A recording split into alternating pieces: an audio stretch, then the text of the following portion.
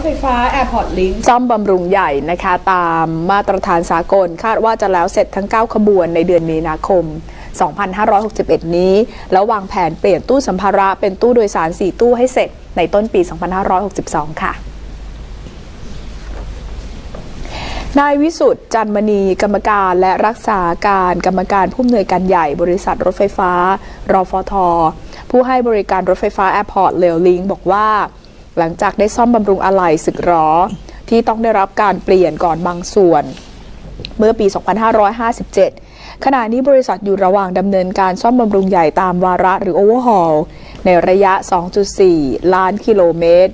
เป็นการซ่อมบำรุงตามมาตรฐานสากล และเป็นไปตามแผนซ่อมบำรุงที่เตรียมไว้ ขณะนี้การซ่อมบำรุงเสร็จและนำขึ้นให้บริการเรียบร้อยแล้ว 5 ขบวน เหลืออีก 4 ขบวน คาดว่าจะแล้วเสร็จในเดือนมีนาคม 2561 ภายหลังซ่อมบำรุงเสร็จ จะทำให้มีรถไฟฟ้า พร้อมให้บริการแบบเต็มอัตรา สามารถปรับความถี่ของตารางการเดินรถไฟฟ้าจาก 10 นาทีเป็น 8.30 นาที ซึ่งทางศูนย์ควบคุมการเดินรถ จะตรวจสอบจำนวนผู้โดยสารจริง ในแต่ละสถานีตลอดเวลา และจะเพิ่มขบวนรถเสริมเมื่อจำเป็น ซึ่งจะทำให้ความถี่ในการเดินรถไฟฟ้าบางช่วง น้อยกว่า 8.30 นาทีทำให้ผู้โดยสารไม่ต้องรอขบวนรถไฟฟ้าเป็นเวลานาน บริษัทรถไฟฟ้ารฟทอบอกด้วยว่าหลังจากได้รับอนุมัติงบประมาณจากการรถไฟแห่งประเทศไทย 200 ล้านบาท บริษัทจะปรับเปลี่ยนตู้สัมภาระขบวนเอ็กซ์เพรส4ตู้ ให้เป็นตู้โดยสาร คาดว่าจะแล้วเสร็จช่วงต้นปี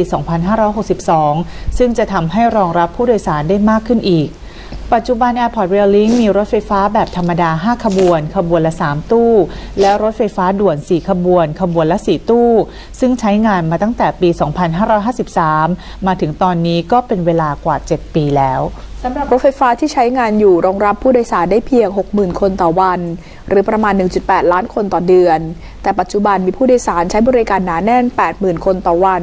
หรือประมาณ 2.4 ล้านคนต่อเดือน ทำให้ในแต่ละวันมีผู้โดยสารตกค้างตามสถานีเป็นจำนวนมาก และต้องใช้เวลารอนาน สร้างความเดือดร้อนให้กับผู้ใช้บริการ